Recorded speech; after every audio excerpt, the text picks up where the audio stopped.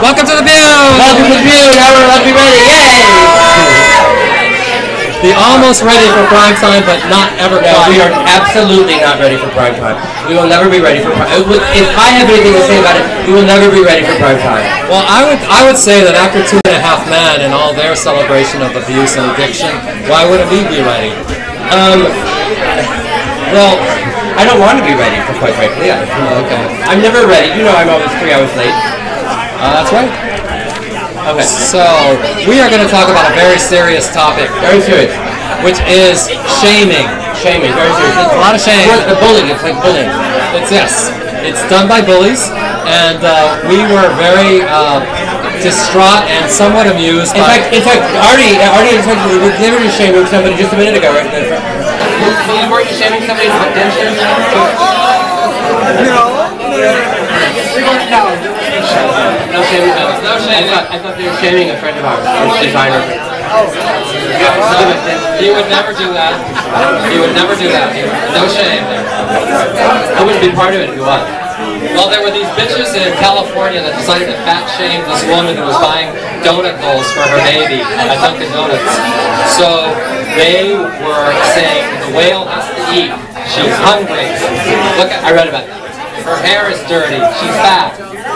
And in fact, she had just lost 150 pounds. So my God, how much was she in weight before she lost the weight? the weight? I don't know, she didn't seem that fat to me, but she was there in Dunkin' Donuts buying donut holes for her baby. Although the question is, if you just lost 150 pounds, why are you at Dunkin' Donuts buying donut holes? I don't know, Rebecca. Oh, oh, oh. So, we thought about the other kinds of shaming that are that we see rampantly, Rampant shaming. like like in the Bronx, for example. There's there's food stamp shame. Oh yeah, food testing. Terrible, terrible thing. So, you ever notice, when, like for those of you who may live in lower income neighborhoods, people with those EBT cards, they all, they buy what card? The EBT. What's that? It's those little cards that get, allow them to get free food. Oh, like food stamps. Now they only buy convenience foods. Oh yeah, those EBT people. So, have you ever seen people like complaining behind them saying, "Oh, they're buying Lego, Eggo"? Yeah, I do that. Well, I don't do that. That's that's food stamp shit. Oh, okay. So I shouldn't do that anymore? Don't do it. Okay. It's very, it's very mean. Mean girl. This is a, a terrible situation known as sock shaming. Terrible situation. Have you ever been to a Japanese restaurant where you had to take your shoes off? Terrible, terrible. And then you had that little hole on your sock with your big toe sticking out. And then those bitches at the table next door are looking at your foot. Oh, awful, awful.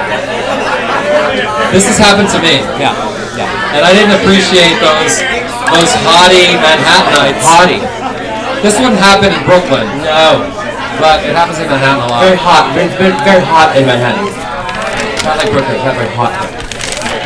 Oh, oh. Here's here's one that here's one that I don't know anything about. And this one this one rhymes with sock shaming. It's cock shaming. Yeah. Ernie Ernie's afraid to say cock. Now, in, I'm not afraid to say cock. Then why he says rhymes with sock? It's like rhymes with witch. So, have you ever been in a bathhouse where you, somebody invited you into their cabin for sex, and then as soon as you took your towel off and they saw the size of your dick, they kicked you out of the cabin because they didn't think your dick was big enough? Well, that's cock shaming. That's never happened to me. Well, it- it's rampant. It's at the East Side Club. I, I know some of you know what I'm talking about. Well, this never happened to me. I, I, West Side Club too. okay, well, I, I, I think that's about enough of that. I don't want to hear any more about that. So don't shame. Yeah, don't shame. We'll be right back. We'll be right back. From this function. And now a word from our sponsor.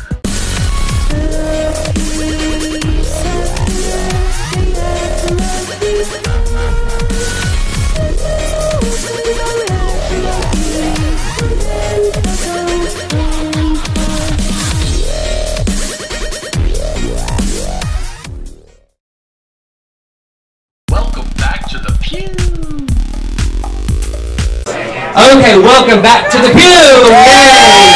So we're we're drunk and we're gonna well we're not, but you are, And um, because I'm not drinking, but we're going to get all of you really drunk now because we're going to play a game called Bug, Chasing. Bug Chaser. Okay, so so we have here here, ladies and gentlemen, here is the bug, and this is the object. The object is to get this bug, and the person who gets the bug gets not only the bug, but they get a round of drinks after the open bar. There's an out open bar in about 10 or 15 minutes, and after that open bar, then there'll be another open bar for the person who has the bug. So um, you're gonna be very lucky to catch this bug. Now, don't confuse this bug chasing with that pernicious form of bug chasing out there on the Oh yeah, internet. it's just a coincidence. It's the same name. Just a coincidence. Yeah, it's a- like we're, we do not endorse people going out and trying to catch syphilis or AIDS so that they can have all the unprotected sex that they want. This is a this is a simple, innocent game that we're playing. Where you are simply trying to guess where the bug is. Who's got the bug up their butt? It's either William, me, Rebecca, or Ernie. One of us has the bug. So we are Rebecca's gonna pick four contestants from the audience. Rebecca, go out there and pick four people. Who's got the bug? Whoever, Whoever, whoever gets, whoever gets the bug gets a round of drink. and that's and that's five drinks. Any any drink that you want. Where's the lady? Five in the round. Right here, right here. And it's not just vodka woman. drinks. You can or some other kind of drink. Hopefully the drink has ABT in it.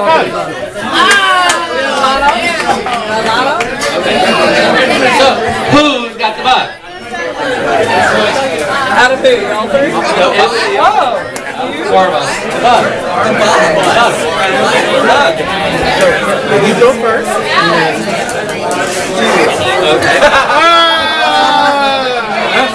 Alright, someone pulled the mic out. Oh, I got the ball! We have a winner! Oh my god! Who got the bug? Round of drinks for you after the upper bar. Thanks for watching. Me. We're going to. Rebecca, thanks for watching. Rebecca's back. Who's Christopher's next?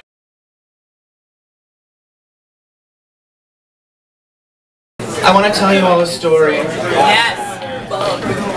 It's about two of my favorite things industrial theft and tits. Yes. It's the true story about the inventor of the modern foundation garment that women wear today. He was a German scientist and opera lover by the name of Otto Titsling. This is a true story. Uh, Maestro, if you please.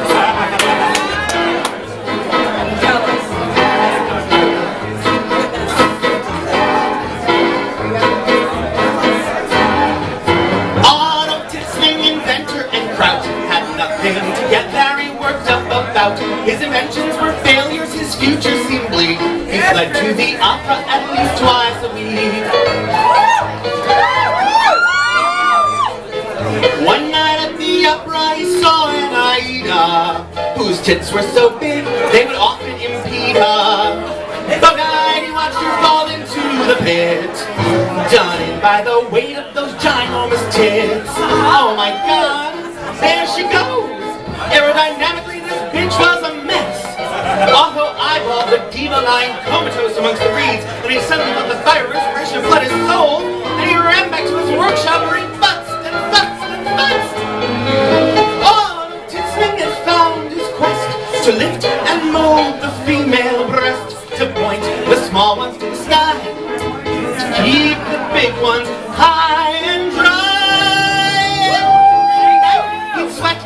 snort, searching for the right support. He tried some string and paper flips.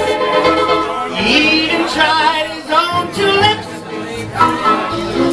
Well, he stitched and he slaved and he slaved and he stitched until finally one night, in the wee hours of morning, Otto arose from his workbench triumphant. Yes, he had invented the world's first over-the-shoulder boulder holder. Hooray! But ecstatic, he ran down the street to his house wearing the prototype in his hot little hand. Now, the diva did not want to try it on the um, but after many initial misgivings, she finally did. And the sigh of relief that issued forth from the diva's mouth was so loud that it was mistaken by some to be the early onset of the winter rough rolls of the Stockwell. With a vengeance!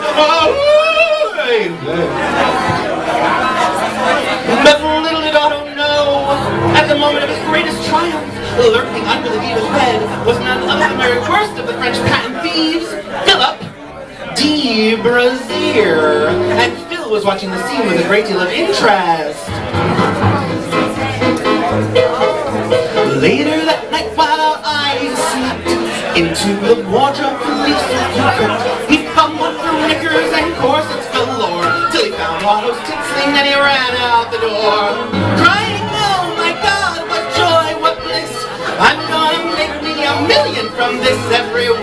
world will wanna buy one I'll have all the goods manufactured in Taiwan the result of the swindle is pointedly clear. Do you buy a titsling or do you buy a brassiere?